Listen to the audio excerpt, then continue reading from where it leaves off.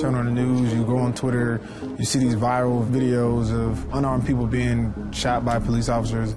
I've seen how it's affected the community. It's time to reevaluate how we deal with crime, how we deal with punishment. There's a lot of yelling, there's a lot of arguing on, on either side, but there's not a lot of listening going on, there's not a lot of understanding. I got fed up with tweeting and hashtagging and just giving my opinions without really gaining an understanding of what the problems are and how to be a part of the solution. One of the things that has to be said is that we, we, no matter what we do, we need people to understand what we do and why we do it. Right. You have to be able to listen to somebody else's perspective that might not match yours. When you look at people like yourself who are leaders in the community, we need them on our side. Because God forbid, if we get involved in, in a situation where we have to shoot somebody, and we could be 100% right, but you don't have people supporting us who are leaders in the different communities that could be involved in.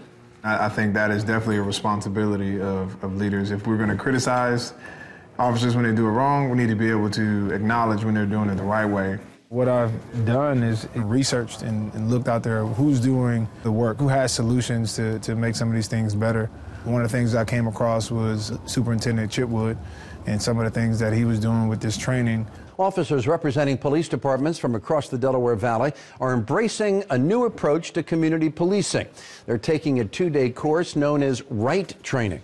It stands for Racial Intelligence Training and Engagement. The training in the racial intelligence is something that we need as, as, as police. The change has to be how you treat people, and the officers have to understand that. I, I can say this without blinking an eye. I've been there. I know what it is to do the right thing, and I know what it is to do the wrong thing.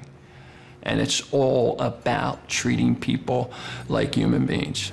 Do you think that there has been enough outcry from the law enforcement community to really separate themselves and isolate those who are doing things the wrong way? It's important that if people, officers, do the wrong thing, then they have to pay the price. They have to pay the price, period. I'm giving them the tools. Mm-hmm.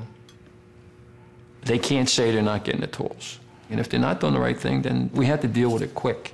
We can't, we can't let it fester and let people angry and, and it erodes the trust. It erodes the trust. It really does. It's time for us to start to highlight those who are doing it the right way so that we can replicate it. Too long are we pointing at the problem and not getting any solutions. Do you think this is something that can be implemented kind of nationwide, absolutely. or at least in, in everywhere else? A- absolutely. Where can I help as an as an athlete and influencer to to take what you're doing here and make that a statewide standard? Before a police officer comes on the street, they have to be certified. And the training division that does the certification, every officer in the state of Pennsylvania has to go, is, is MPOETC.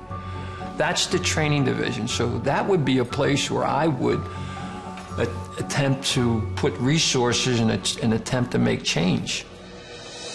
If you want to be a part of the solution, it's not easy. You have to do your part.